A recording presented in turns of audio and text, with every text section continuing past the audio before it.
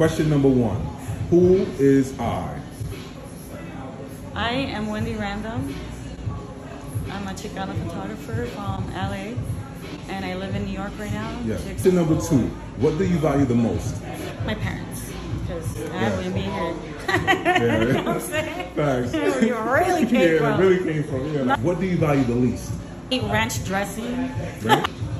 Question number four What culture do you come from? Indigenous Mexican, and of course we got colonized, so we already know the story. We got some Spanish too. How well do you know yourself? Eight and a half. Okay. Number six How was the universe created? Family has been like very hardcore Christian. Yes. Yeah. So I mean, I, I believe in God. Okay. So I don't I don't believe in the, the Big Bang theory. What is the universe? Wow, um, infinite. Infinite. It is infinite. That Yeah. is a